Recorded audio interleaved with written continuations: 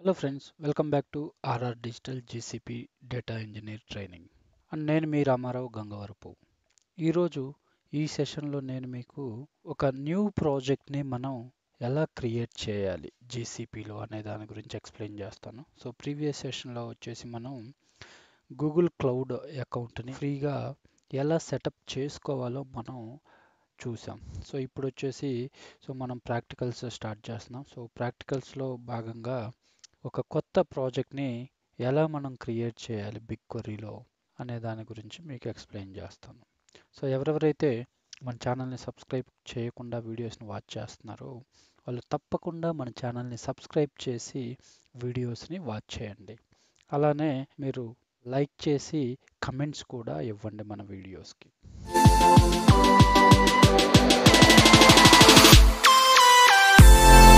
So first వచ్చేసి మనకి once cloud dot Google dot కామ్లోకి login అవగానే మనకి స్క్రీన్ అనేది ఇలా ఓపెన్ అయింది ఓకే? సో ఇక్కడికి వచ్చేసరికి మనకి మై ఫస్ట్ ప్రాజెక్ట్ అని ఇక్కడ మనకు చూపిస్తుంది కదా. సో ఇక్కడికి వెళ్ళాలన్నమాట. ఓకే? సో ఇక్కడికి వెళ్ళిన తర్వాత వచ్చేసి ప్రజెంట్ ఒక న్యూ ప్రాజెక్ట్ని ఎలా క్రియేట్ చేయాలనే దాని గురించి డిస్కస్ చేస్తున్నాం కాబట్టి ఇక్కడ మనకు రైట్ సైడ్ న్యూ ప్రాజెక్ట్ అనే ఆప్షన్ ఉంది. సో ఈ దీన్ని మనం క్లిక్ చేయాలన్నమాట. సో ఇక్కడ క్లిక్ చేసి మనం ప్రాజెక్ట్ నేమ్ అనేది మనం ఇవ్వచ్చు అనమాట ఇక్కడ వచ్చేసరికి. సో నేను వచ్చేసి బిగ్ కొరీ హ్యాండ్స్ ఆన్ అని చెప్పి ప్రాజెక్ట్ నేము ఇచ్చాను. తర్వాత వచ్చేసి ఆర్గనైజేషన్ మనం కంపెనీ తరపున వర్క్ చేస్తుంటే ఆర్గనైజేషన్ నేమ్ని చూస్ చేసుకోవాలి. ఓకే? సో నేనైతే ఏది సెలెక్ట్ చేయట్లేదు. తర్వాత వచ్చేసి మనం క్రియేట్ బటన్ క్లిక్ చేయాలన్నమాట. సో మన ప్రాజెక్ట్ అనేది క్రియేట్ అవుతుంది. ఇక్కడ ప్రాసెస్ అనేది జరుగుతూ ఉందన్నమాట.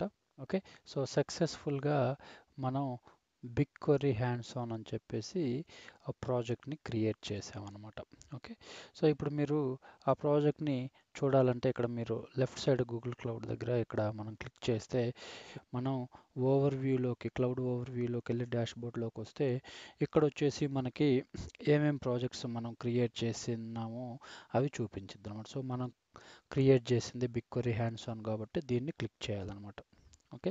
సో ఎప్పుడైతే మనం ఆ ప్రాజెక్ట్ని క్లిక్ చేసామో దానికి సంబంధించిన ఇన్ఫర్మేషన్ అనేది మనకి ఇక్కడ చూపించిద్ది అనమాట సో ఇక్కడ మీరు చూస్తే ప్రాజెక్ట్ నేము తర్వాత ప్రాజెక్ట్ నెంబరు ఇది వచ్చేసి మనకి యూనిక్ నెంబర్ అనమాట తర్వాత ఇది వచ్చేసి ప్రాజెక్ట్ ఐడి. సో ఈ రెండు యూనిక్ నెంబర్స్ని మనకి ఇచ్చిద్ది అనమాట okay? So N number of projects మనం క్రియేట్ చేయొచ్చు అనమాట ఇక్కడ వచ్చేసరికి ఏపీఐకి సంబంధించి okay?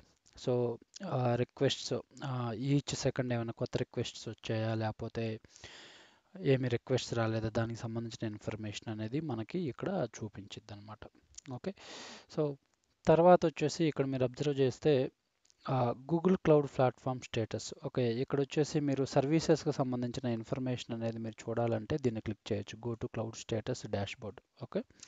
So ఇక్కడ వచ్చేసి అన్నీ మనకి డిఫరెంట్ డిఫరెంట్ సర్వీసెస్ ప్రోడక్ట్స్ అన్నీ మనకి లెఫ్ట్ సైడ్ చూపిస్తుంది. అలానే ఈచ్ సర్వీస్ యొక్క స్టేటస్ అనేది మనకి ఆ గ్రీన్ కలర్ టిక్లో చూపిస్తుంది అనమాట అంటే ప్రజెంట్ అయితే ఏ హెల్త్ ఇష్యూస్ లేవు అందుకే గ్రీన్లో చూపిస్తుంది అనమాట సో మీకు సర్వీసెస్కి సంబంధించిన అవైలబుల్ ఇన్ఫర్మేషన్ కావాలంటే మీరు ఇక్కడ చూసుకోవచ్చు అనమాట సో అది మనకి డిఫరెంట్ డిఫరెంట్ సర్వీసెస్ని మనం చూడాలంటే అలానే ఇవన్నీ మనకి కష్టం అనమాట ఇప్పుడు ఈ ఏపీఐకి సంబంధించిన ఇన్ఫర్మేషన్ మనకు అవసరం లేదనుకుంటే ఇక్కడ హైడ్ కార్డ్ అని చెప్పింది. ఓకే సో దీన్ని క్లిక్ చేస్తే ఆటోమేటిక్గా ఈ ఇన్ఫర్మేషన్ అనేది హైడ్ అయిద్ది అనమాట ఓకే అలానే మీరు మళ్ళా వేరే మీకు సంబంధించిన కస్టమైజ్డ్ కావాలంటే ఈ కస్టమైజ్ బటన్ క్లిక్ చేయొచ్చు అనమాట ఇక్కడ క్లిక్ చేసి ఇప్పుడు నాకు యాప్ ఇంజిన్ సర్వీస్ గురించి డిస్ప్లే చేయాలి ఆటోమేటిక్గా అక్కడ అంటే దీన్ని ఎనేబుల్ చేసుకోవచ్చు అనమాట ఓకే.